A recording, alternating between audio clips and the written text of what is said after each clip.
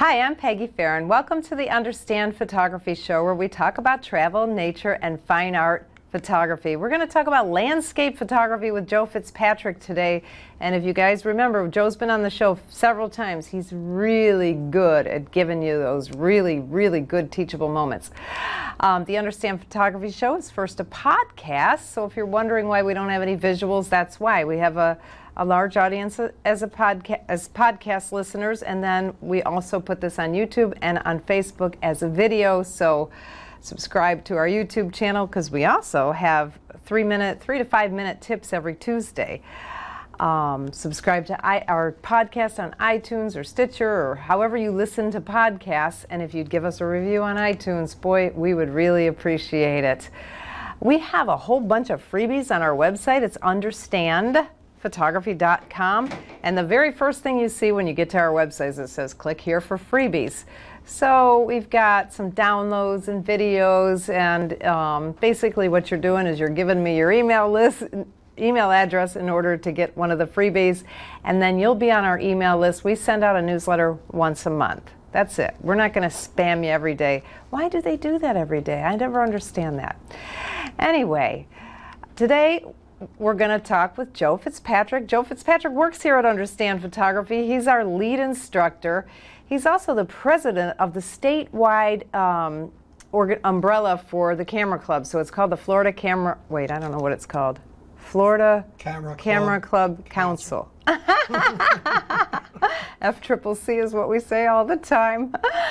Um, and Joe is one of those very unique people because he's very technical, but he can explain things in a simple, easy way so that even people like me can understand. So welcome back to the this side of the show, Joe. Glad to be here, Peggy.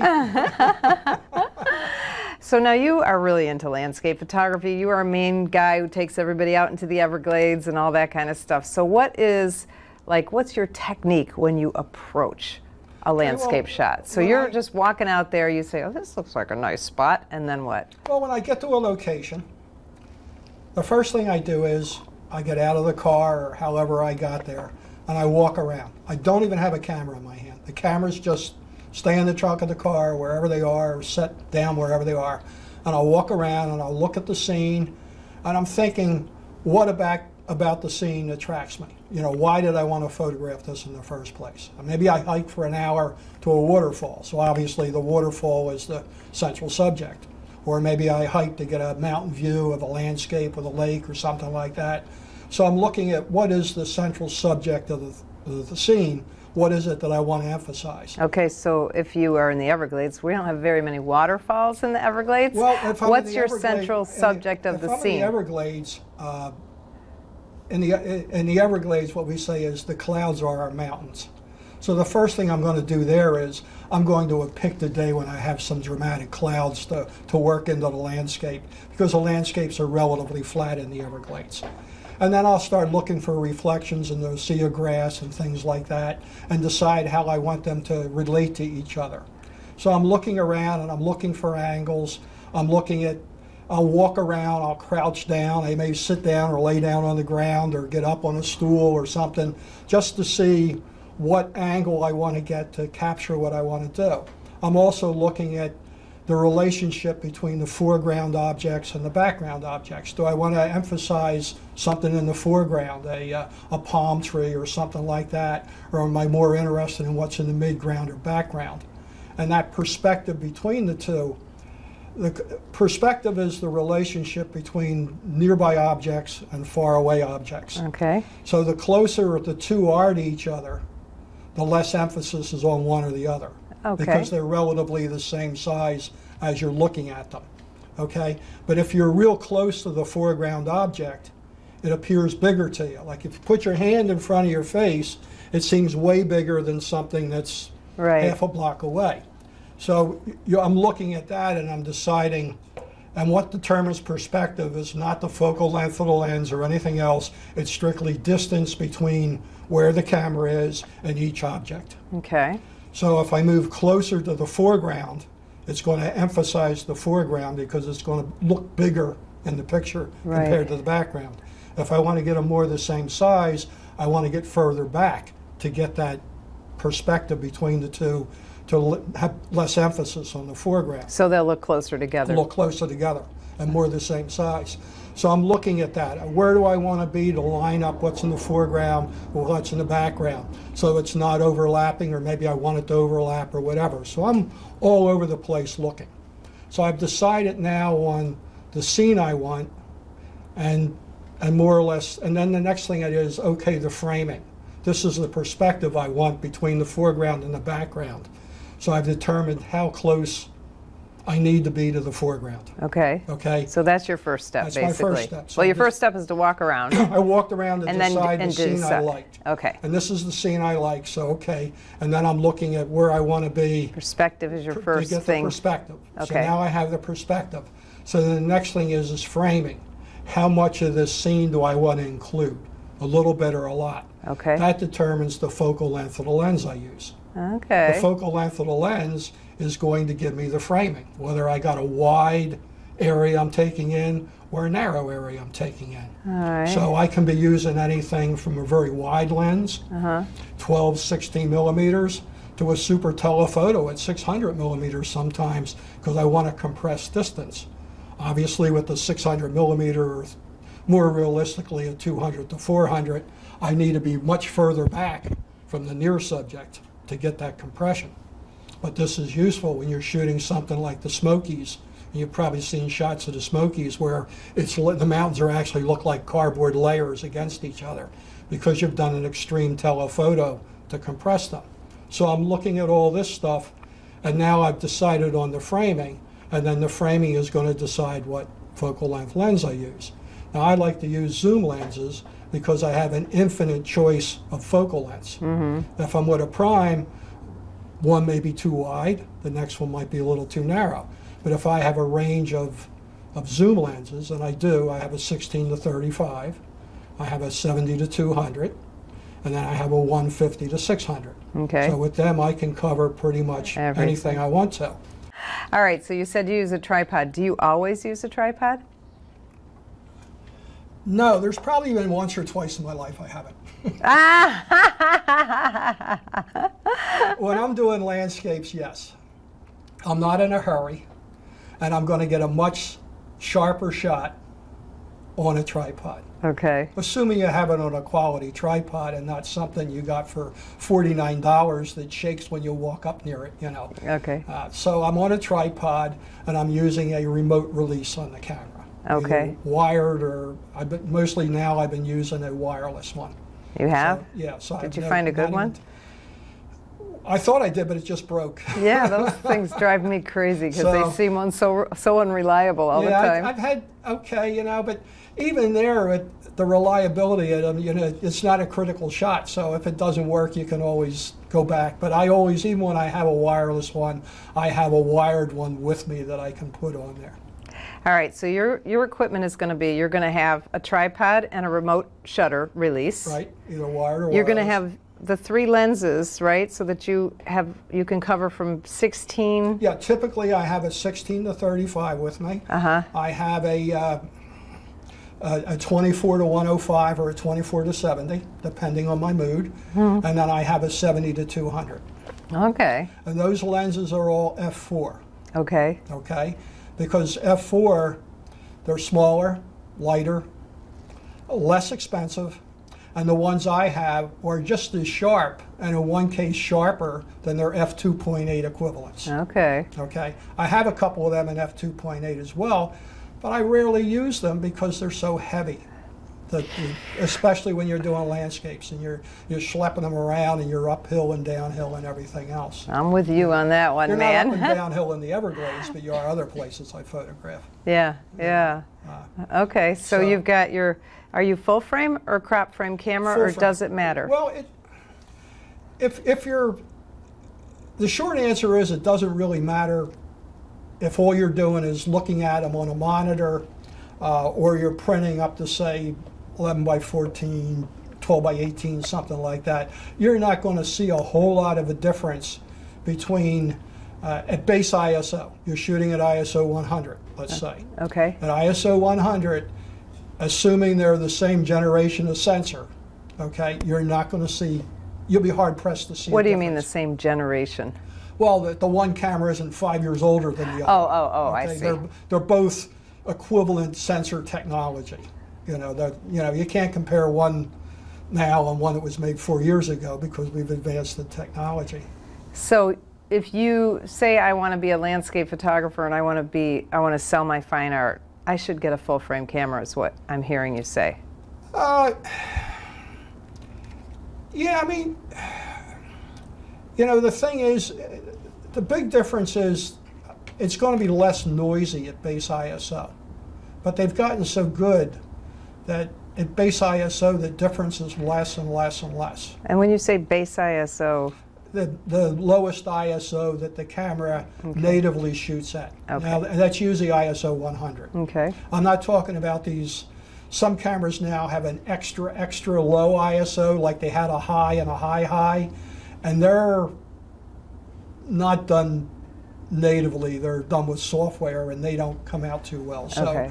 most cameras are ISO 100, and you're hard pressed with a modern camera to see the difference between 100 and 200. Okay. So the So- quality is going to the be pretty good. really good. So as long as you're not printing it, oh, I don't know, uh, 16 by 20 is fine. You can use a crop camera and you're not going to have any problems.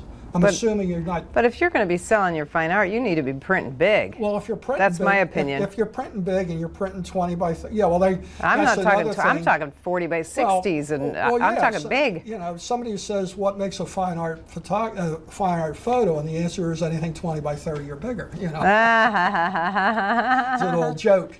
But uh, yeah, if you're getting into 20 by 30, uh, uh, 24 by 36, and bigger, the full frame camera is going to give you a nicer picture. Okay. be, uh, because it's less noisy, but also today uh, there are much more pixels. Yeah. In other words, you have 50, 60 megapixels in them as opposed to the typical uh, APS-C camera, crop camera, is 24 to maybe 30 in that range. So you have a lot more pixels in there. You can get a lot more uh, detail. Okay. The trick is to get that detail, you need high quality lenses. I'm talking real high quality lenses to resolve that detail. Okay. Good. Uh, That's a lot good. of the older lenses, even the older pro lenses, were never designed to resolve that kind of detail. okay. So you have to look at that. So your expense starts to go up. Okay. Oh, that's good to know. So yeah, so, but typically if you're just not shooting to do fine art, but you're shooting for fun and to hang it on your wall, a good crop body camera is going to give you a nice image and it's not going to be a problem. You have to remember the full frame cameras from five years ago were not as good as the crop bodies today. And there's a lot of fine art out there that was uh, shot with uh, six, eight, uh, what was a 5D? Uh, uh, eight megapixels, 12, something like that. I mean, real small. So I have a, a picture hanging in the wall here in the studio over there. Nobody else can see it, but that uh, was with my 10D, which I think was six megapixels. yeah, six or no more than eight, probably It six. wasn't very, yeah. but it was No, a crop frame. yeah, yeah. It was one of the first Canon Right, digital yeah. DSLRs. Yeah, and I had a 300, and that was the same thing. That was 6.2. So, I printed big stuff and it looks good. I think it looks Yeah. good. Well, a lot of it is. But it's not a landscape, it's a portrait. Yeah. So, Uh, if, if the picture doesn't have a lot of fine detail on it, you can get away with yeah. an older camera. Yeah. So, but typically, you know, landscape isn't as demanding for the hobbyist as, as some of the others. Uh, if you're into bird and flight photography, you need a camera with a real high, a really sophisticated autofocus, uh, fast shutter speeds, uh, high frame rate, big buffer size, super expensive long lenses, and everything else. With a landscape, you can take a landscape with the kit lens that comes with your crop body camera and you're going to get a nice result because it's more about the technique, having it on a solid, stable tripod, using a remote, choosing uh, an aperture around f8 or f11, uh, focusing properly on it. We can talk about focusing and how I focus too. Okay, so technique that. I just want to, because what you just did was talked about ways to keep it super sharp, right? So Yeah. you said tripod, yeah, exactly. f8. Yeah, the key to Shutter a, the key to release. a good landscape, the, the biggest thing about a landscape is it needs to be sharp where you expect it to be sharp. Okay, I, I say where you expect it because uh, you've seen some of my pictures of pilings in the water, and the water is all cotton candy. It's not sharp, but the piling has to be razor sharp, or it's going to look like an out of focus photo, right? Okay. So, so to get an ultimately sharp picture, the first thing you want to do is be on a tripod. Period. A good tripod, a good solid tripod. You want to use a remote cable release. You may, depending on your shutter speed, you may want to, uh, if it's a, a DSLR with a mirror in it, you may want to flip the mirror up first. There's a choice to put the mirror up before you take the picture. I don't usually do that. I don't find it gives me that much of a difference. I played with it most of the time, so I won't do that, but that's another thing you can do. Uh, so that's your mechanical part. Okay. Now the next thing is where, and your other thing is the aperture you're going to use. Now, as your aperture gets smaller, higher number, going from f4 to f8 to f11, you're getting a greater depth of field around the point of focus. Okay. So more is going to look sharp around the focus point. And it's not all going to be the same sharp. The only thing that's razor sharp is the focus point, Okay. period. Okay. The rest is acceptably sharp. Okay. So the further away you get from that focus point, the less sharp things get. Mm-hmm. And as you go from f4 to f8, you're expanding that depth of field, the Right. things that are acceptably sharp. The problem is, and that keeps going out f8, f11, f16, It gets sharper and sharper. it gets sharper and sharper, but there's a thing called diffraction. And what diffraction does, it's the light rays bouncing off the aperture blades okay. and they cause a little bit of blur. And they cause blur over all of the picture, Ah, even the focus point. even the focus point. Oh. And typically, for most lenses, the sweet spot is around f8. Okay. Now, it could be more ways, and each thing, I'm just using an approximation. So Right. don't everybody write in and say, oh, it's f11 or it's f5.6 or whatever. Somewhere around f8 is usually where you're not noticing any difference.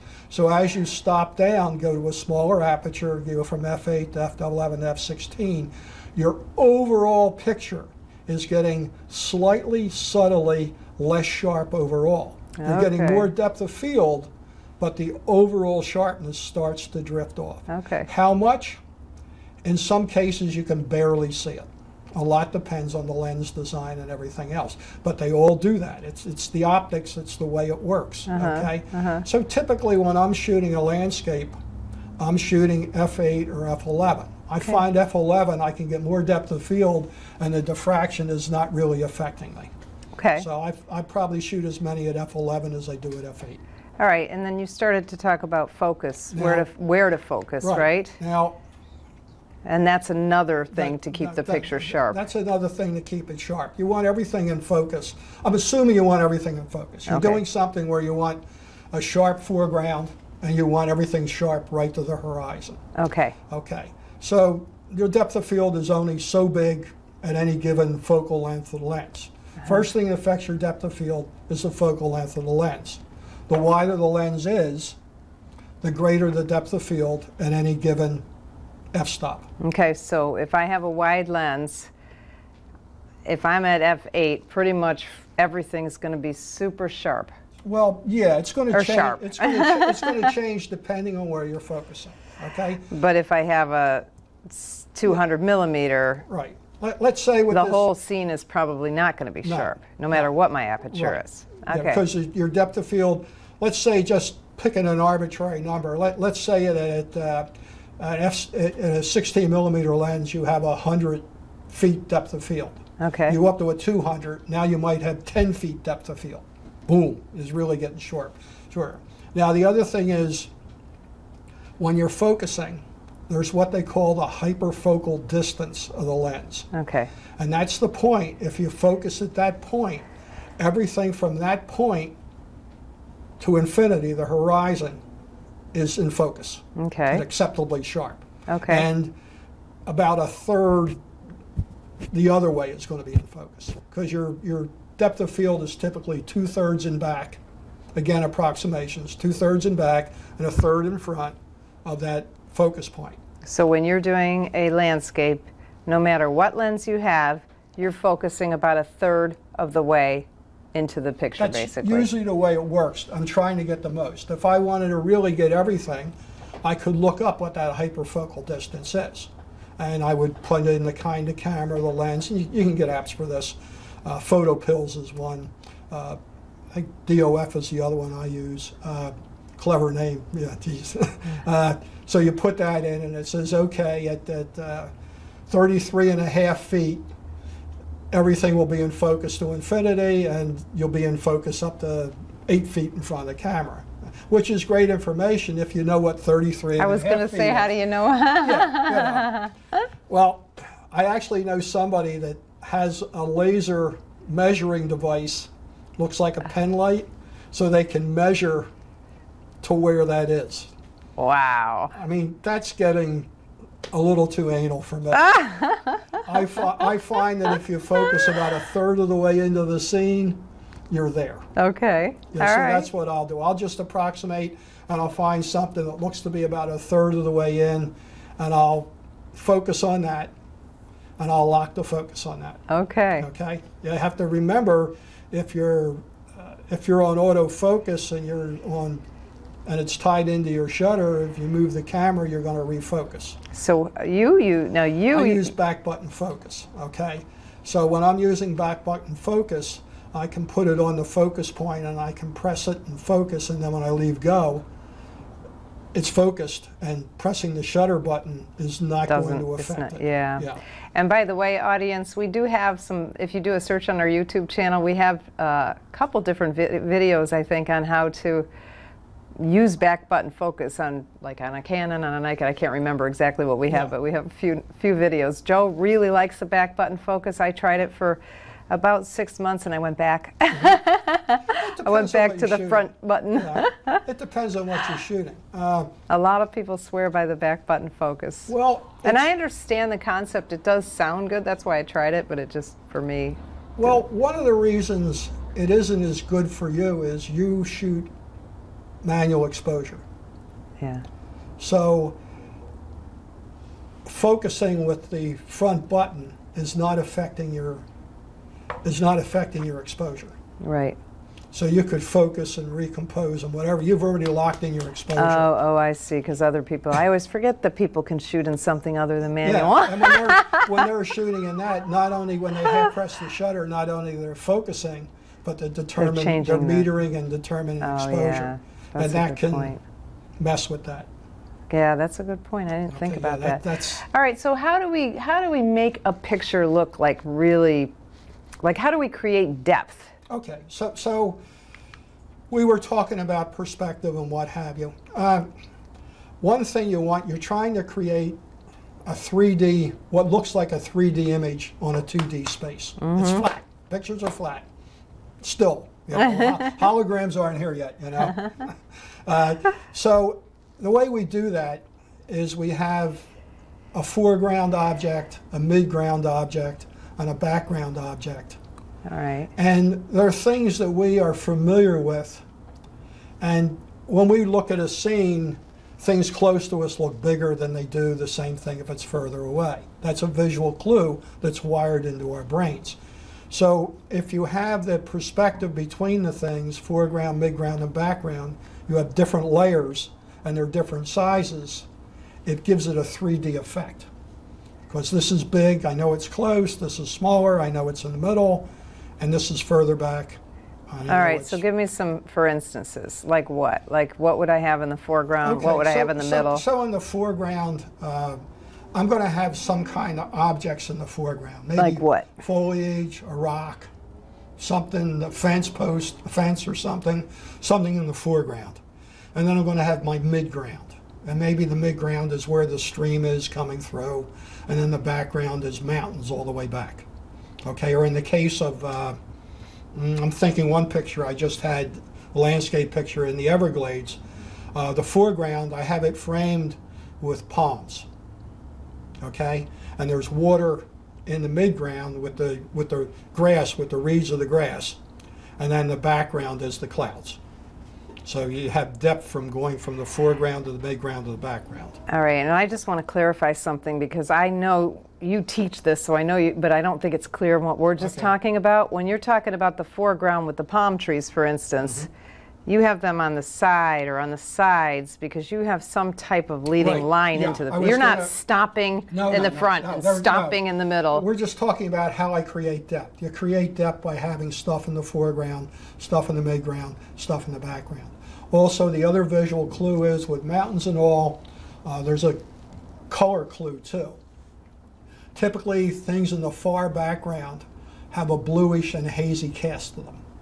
So sometimes, if the background isn't, the distant mountains aren't razor sharp, it creates more of a feeling of depth, which is something you want to consider when you're doing all the sharpening business. Okay. Okay. Uh, what we're talking about there is uh, getting into composition. When you're composing a shot, you need to lead the viewer through the shot. From uh, think of the foreground as your door that you're walking through, and then you're walking into the midground, and then you walk to the background or whatever the subject is.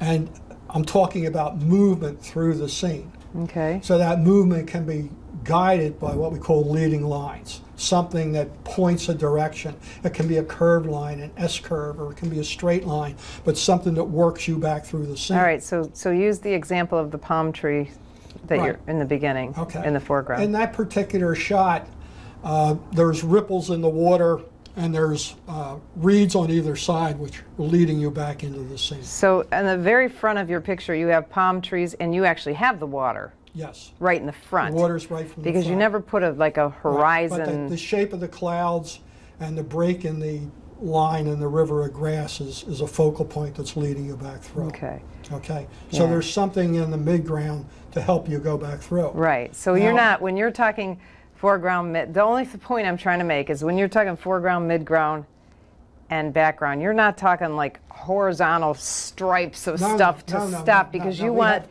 you want things leading you into the Yeah. picture because Think a as- horizontal it line as will stop. Think of it as mountain ranges, and you have one here and one. You have one in the foreground, one in the midground, one in the background. Now the other thing is, we're talking about leading you through. A mistake people make is, with the foreground especially, they build a wall. That's what I'm trying They to get at. They have a, uh, they have something in the foreground which goes all the way across, like a fence maybe. Yeah. You know, or something like that, or a wall, and it goes right across from one side to the other. There's no visual break in it, so. To get into the scene, you're actually leaping over the wall to get into the scene. You need to have a break. You need to have something like when you're composing mountain ranges, and you usually have the gorges between the mountain ranges, and you compose them so that line takes you back through the picture. Or maybe it's um the famous Ansel Adams uh, picture of the Snake River. You have that perfect S curve from the foreground as the river snakes back to the background, leading you through, and there's a visual break that can take you back through that. But let's use that as an example for what you were saying. The S curve, you still have something in the foreground yes. You and something in the middle for the depth. background. Okay. Mhm. All right, so let's move on about lighting. So, you know, we all hear that the golden hour is the best time to take pictures of pretty much anything. You know, early morning light or Mm-hmm. sunset light. Um, why? Well, a lot of people think it's because of the color of the light. And it is to a certain extent. But you have to remember in Photoshop, I can get that color light at midday. I can just mm-hmm. play with the white balance and get that color. In my mind, it's more to do with the angle of the light. Okay. When the light is at a low angle, like it is in the morning and evening, one, it's a little softer because there's more atmosphere it has to come through. So it's a little more diffuse that time of day, okay? But the shadows are more distinct Mm. because the shadows are giving you more angles. A lot of people say it's all about the light. I say it's really all about the shadows created by the light. Okay. Because that, it's the shadow that molds and gives shape. The, the shadows define. Mm-hmm. If I put, if I have a ball and I front light it, dead on light, you can't tell whether it's a circular disc or a round object because it's all lit the same. There's no shadow. So you have no idea if it's flat or whether it's a round ball. As the light starts to get off to the side, then you start to see a shadow on the other side from where the light is, and that starts to define the shape. Okay, so in, give me an example in landscapes. Okay, we're, we're shooting mountains, and we first thing in the morning as the sun's coming up, uh, the mountain range is half of any particular mountains in deep shadow, and the other half's in sunlight. So we're getting that shape to them. We're seeing the shape. Uh, we're seeing the shape in rocks and all, uh, uh, the where they're dimpled, and so with a little shadow here, a little light there, and what have you. So that low light is providing shadows, which are creating interest and drama and shape And texture. and texture. Because Yeah. that's what, since we, you keep talking about mountains, I think you don't realize you live in Florida. Anyway, I'm talking about landscape in general. So you're but we have, we have no Sure. mountains. No, But but- what we have is like in the river grass. Yeah. The grass Has- looks has better. it, Yeah. If you, if you're shooting midday, the grass is Oh, very it's- it's all flat. flat. Yeah. If you get if you get the light low, that grass takes on a lot of texture uh, because one side is shaded, and you have breaks in it, and they create uh, shadow patterns in there, and it gives you all this great texture. Plus, the clouds themselves have more shape to them. They're Yeah. not just a white blob; they have shadows on one side, and they're much more dramatic. So you're getting all that that light too. Yeah. It's creating the shadows, it's creating the texture, it's creating the shape all the time with the low light. Now, we talk about the golden hour. Well, it depends on the time of year and how far north you are as to how long that hour actually is. Okay. Okay, uh, as you get further north, uh, especially in the winter, the sun is always at a much lower angle. Ah. So even at close to midday, it's still pretty low okay. in the sky. So you have a bigger window in where you have the dramatic light. You no longer have the gold tones, the warm tones, and it's less diffuse, so it's a little harsher light, but you still have the shadows. And Oh. sometimes those harsh shadows are better than diffuse ones, depending on whether you're trying to bring out a texture or not. okay. Okay, That's good to know. Uh, when when we did, um, we went out and we did Valley of Fire and Red Rock Canyon. Uh huh. I did them a week before Christmas, Okay. and we were shooting almost all day because the light was low. You were at, at the where we were.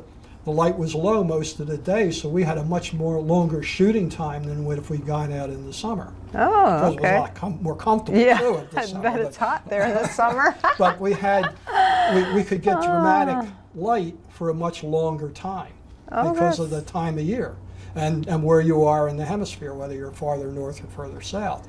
Down here, we have a fairly short window down here in Florida. yeah, because it's we're closer to the equator, so we have the, yeah. the sun up higher. We have the sun up higher most of the day, and it's a harsher light as, as well. So what if I want to? What if I want to take pictures in the middle of the day, here in Florida in the summer? Use an infrared, use an infrared camera is, is one thing. Uh, that you know, infrared. Uh, it seems that the works best with the harsh, hot light. I know. So a lot of times, what I'll do when I get to the point where the light isn't there for my regular camera, I have a camera that uh, has been converted to infrared, which is a great thing to do with an old DSLR. An old DSLR, four or five years old, is worth almost nothing. So you convert it to infrared, and now you have a nice infrared camera to use when the light isn't quite right. So you can do that. The other thing is, what kind of day is it? You know, when we're talking this light, we're talking that they're actually light, that you can see the sun. Right. If we're talking an overcast day or a, a day when the clouds are going in and out, you can expand your shooting opportunity. You wait for its overcast time, right? And some subjects are much better to photograph, landscape subjects are much better to photograph on a cloudy day. Anything to do with a, a- waterfall or a, um, a fast moving stream or brook where you have specular highlights and all that can drive you crazy the cloudy day, as long as you don't have the sky in the shot, as long as the shot is all waterfall or all water, you have less specular highlights and you reduce the uh, dynamic range, so you get a much nicer photo that way. So they're the best. Uh, waterfall's terrible on a, a bright, contrasty day because you never find a situation where the entire waterfall is going to be in the sunlight or the shade. So you're going to have all this crazy dynamic contrast and everything, and it's really difficult to do. If you're on a cloudy day, you don't have those issues. Okay. So, and it's a lot more comfortable to hike to the waterfall on a cloudy day too. So I always try to do that. Uh, the last waterfall I shot, which was in uh, just recently in Virginia, I went out there on a rainy day, and I shot it on a rainy day, and it was great. And I went back later when it was sunny to get a couple more shots, and waited till the clouds came in and out, and shot between the, the sunlight to get what I wanted. Ah, okay. So uh, something like that, uh, waterfalls, uh, brooks and streams, you know, where you're trying to get all Right, that stuff. right. Uh, What about just a standard landscape, though? I mean, and you kind of glossed over the sunny part. If it's a sunny, harsh day and you it's a and you don't have an infrared camera, sh- should you just say, "Well, I'm not going to take pictures"? No, I mean you you, you, you, you pick and choose what you want. You you look for a subject where that harsh shadows are going to help, or having the light overhead is going to help the scene. okay, uh, like like what? All right, let me just give I'm you. A, let me let me let me I let me put this in your brain and see if you can come up with something. So I, you know, I just got back from Italy, Mm-hmm. and uh, Stefano and I went out and we wanted just to see the, you know, the inn where we're staying. So we were out early in the day, Mm-hmm. not early, but like, you know, sunset was like 7:30. I think we were out at four o'clock. So it was really harsh lighting, not a cloud, not a cloud, not a cloud in the sky. And uh, he just kept going, bah, light, the light is terrible, the light is terrible, the light is terrible. I can't do it. Tell you. um, so you have not been to Tuscany, but you've been to Right. the Palouse, which is Yeah, similar, similar, similar. yeah. So is there anything I can do What? in that harsh lighting? You have to look for a subject where you're still going to get some kind of shape and texture. So find a building, like Uh, Find a that's buil- exactly what find we a did. building. I mean, uh, a lot of times, like uh, uh, cityscapes. On a cityscape, if you're shooting city streets, a lot of times it doesn't matter what time of day it is, as long as you're shooting one side of the street or the other. As long as one side's like not half in shade, half in light. Exactly. Yeah, so, that's so a lot of times uh, on, on our Cuba workshops, we said, okay, this this street is running north south, so half of it's in sunlight and half's in shade. So don't street, shoot the whole street. Shoot one side or the other, and then you'll have fairly decent. You'll have much better light on the shady side. But you can also get some contrasty, harsh stuff if you might want it to bring out textures in the buildings on the other side. So you can shoot pretty much all day that way. I think that's what you just said is probably the good, the best advice, just to find, really choose your subject Yeah. based on the you lighting, because to- that's what we ended up. You know, he's found some hay bales, which probably would have been better in the low light, but they still were kind of cool. There was enough texture from the shadow. There was enough shadow on the side of you know that they kind of came out cool and. And then we went to the um, the different little buildings. You know, they got this. Vitaleta Chapel that's real famous, and then we went to one of the gladiator houses and just did that kind of stuff because it was so. Yeah. bright out. Until we got, you know, later in the day, I forget where we went somewhere. Oh, that's when we did that cool S Mm-hmm. curve place. When I was doing Valley of Fire, our solution was that we shot in the morning until the light, and we had a longer window, like I said, but you still had a window between morning and afternoon. So we found a nice place for lunch, had some adult beverages and some good food, relaxed a little bit. We're now rested. We're up on our game again, and go back and shoot till sunset and after. And that middle of the day break makes all the difference in the world. Okay, So- so, you're saying to shoot in harsh sunlight to go to the bar and have a drink. Exactly. Have a beer. Have- the, the, the, the, the solution is stop and have a beer. That's the, that's the, that's the Irish solution. The Irish German solution is stop and have a beer and go back later. And a lot of times, you know, to really get a decent picture, you're not going to get it that day. You're not going to get it that day. You need to be there at a better time and better light. And it's as simple as that. And that's why you'll find that a lot of really good landscape photographers live where they shoot. That way they can be there when the light is right. If you're going to a place one week a year, your odds on getting that picture are really low, no matter how much you've researched and everything. The first time I went to the Tetons, I was there four days before I saw the Tetons. It was fogged in all day. Oh. I was taking pictures of lakes and stuff like that. If there were mountains back there, I only knew that because people told me there were. You couldn't see them. Okay, so. So, you know, But I'm you glad you said that because day. that, you know, I mean, for that is that is such tr- so true because if you're, you know, I was with Stefano. I mean, we're going to have a photo trip and hopefully we'll have good light because we're going to get up Mm-hmm. before dawn almost every day and sunset, all that kind of stuff. But when I was with him, I had three hours Right. total. So, and it not a cloud, not a cloud, not a cloud in the sky ever, all the way through sunset. None. Well, the other thing there is, as a photographer doing nature, landscape, you need to stop having tunnel vision. You don't get focused. So you look for other opportunities. I'll give you a good example of that. We did a workshop up in St. Augustine, which is a combination of uh, birds in flight and birds in the morning and old St. Augustine landscapes and cityscapes kind of thing in the afternoon. The first several days we had torrential downpours. They set records for the downpours. Just on your trip. So I know the place and I skilled it more than just birds and landscapes. So our group, I took them to the local museums. So we shot different things in the museums, which were empty because it was literally torrential downpours all day, you know. So they were happy to see us. So we could set up our tripods. We could fool around with lighting. We shot in the museums.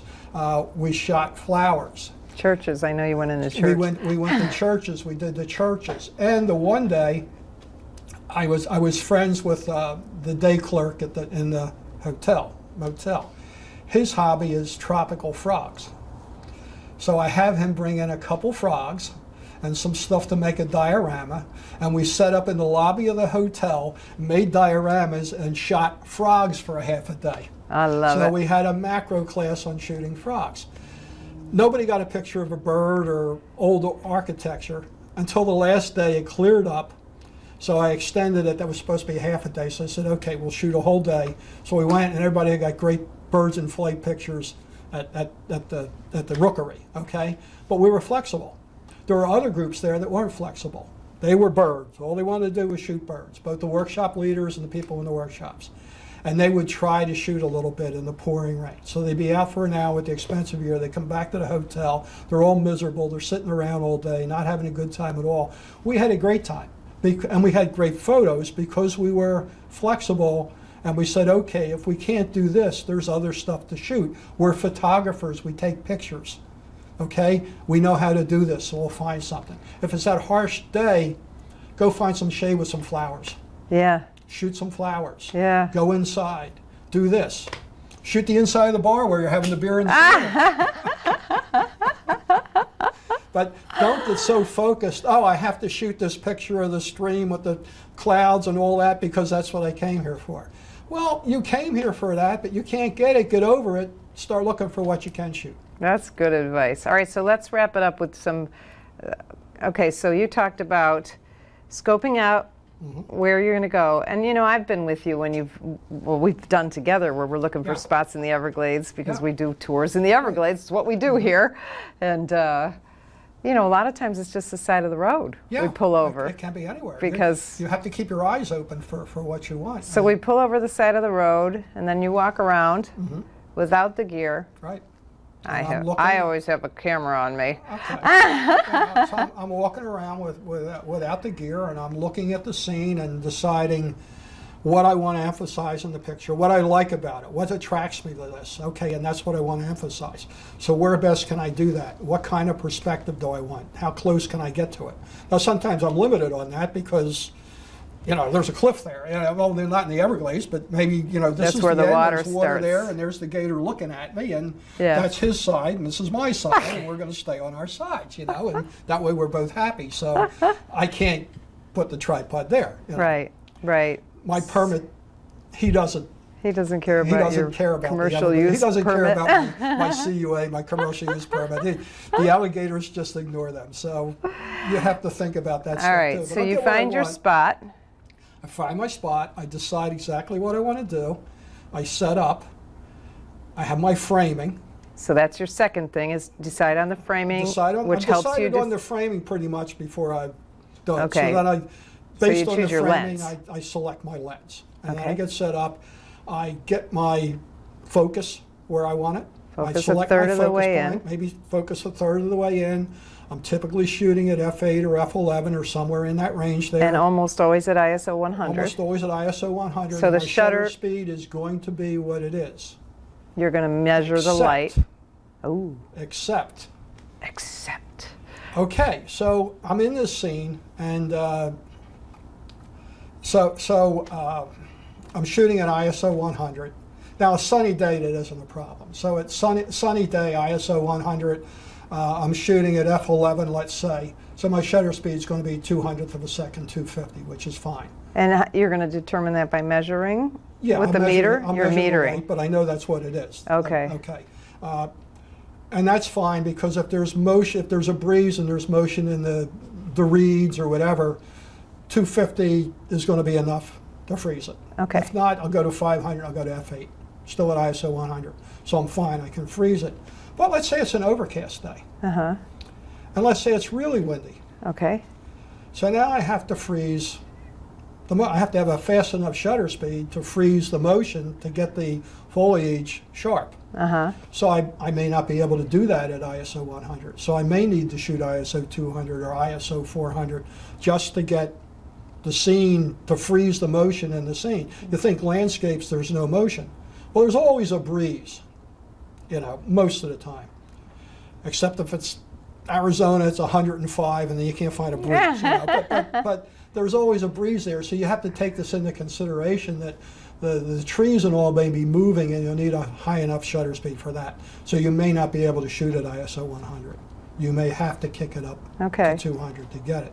Okay. That's good. That's good advice. Another, well, I'll get off topic for a minute there too.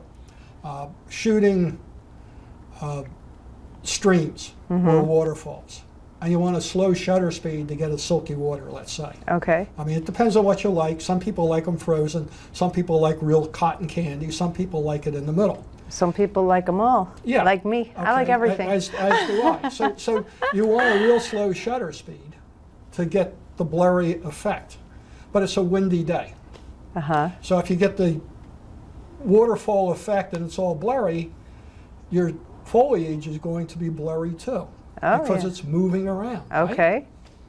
The solution is you take two photographs. Ah. Okay. Same f-stop. Okay. So you have the same depth of field in both. Okay. Take one at a shutter speed fast enough to freeze the motion of the foliage, one slow enough for the water to blur it, and combine them together as layers in post. You know, combine them together in post in Photoshop or another similar program to get keep the sharp parts of the foliage and the blur shot, blurry parts of the water. You can take two shots and combine them together. Okay. And you're doing that using a layer mask? Yeah, you can use layer mask for one. There, there's um, one of those other layers does that too. We'll pick out stuff. There's a couple different ways to do it. I'll usually just use a layer mask and just because you don't have to be real precise. So I'll just cut out the water onto the other one and it's fine. It looks good, you know.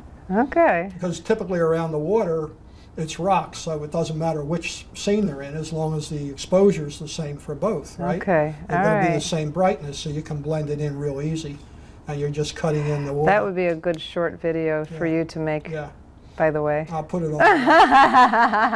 I always find jobs for Joe well, to it's in a do. It's in a couple of my presentations too. But that, ah. we got off the subject, but that's another thing. We're talking about sharpness, and that's important because a lot of people, you have to remember that everything in a landscape is not solid. The foliage is moving. That is and you have to really, yeah, because I don't think a lot of people teach that, so that's really a good Even tip. clouds are moving. So depending on how sharp you want the cloud, is going to depend on the shutter speed too. Yeah, You know. yeah. And we have a whole show, that really good show with Satish Ramjatan Mm-hmm. about long exposures. If you want to look that up, you can just do a. It's all everything's on our everything is on our website, understandphotography.com, and our website is really easy to search. There's a little magnifying glass. If you just put long exposures, you'll get any blog article, video, anything that we've ever done, all our YouTube videos, everything is on our website. So go to our website. We've got such good stuff on there. I, we work hard on that website. we put a lot of time into all of this stuff that we hope is, you know, giving you value. All right, Joe Fitzpatrick, thank you so much for being on the. Understand Photography Show. And now you are committed to doing another Tuesday photo tip on the blending those two Okay. because that's a really good that's a really good tip. I like that one. Okay.